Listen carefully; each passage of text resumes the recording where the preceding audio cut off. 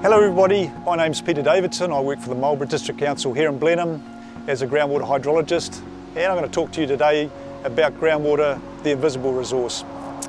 Now we call groundwater the hidden resource because it lies beneath the surface, unlike rivers which we can see and appreciate.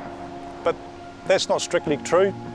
In many places in New Zealand, especially in Canterbury and here in Marlborough, groundwater breaks the surface to form springs. And there's a whole belt of them that rise around Blenheim and break the surface. And the largest of these is Spring Creek Awarua, which sits behind us.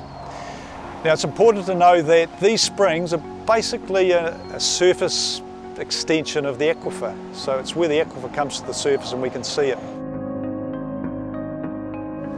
Spring Creek Awarua is highly valued ecologically as a home for plants, animals and fish, which like the cool, calm water and aesthetically for calming the human spirit.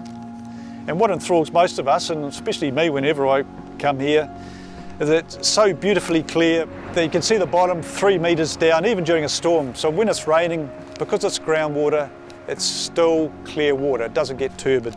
And as we stand here today, the visibility is pretty good. It's a little bit cloudy, but we can still see down, and there's the odd trout, native kōura crayfish, and eel, tuna, flying past us. So it's a great vista. We have a catchphrase here in Marlborough that the springs are the barometer of aquifer health. And what we mean by that is we regulate how much water is consented and taken out of the aquifers for drinking water, municipal supply to our cities, and for irrigating crops to preserve the flows in the springs.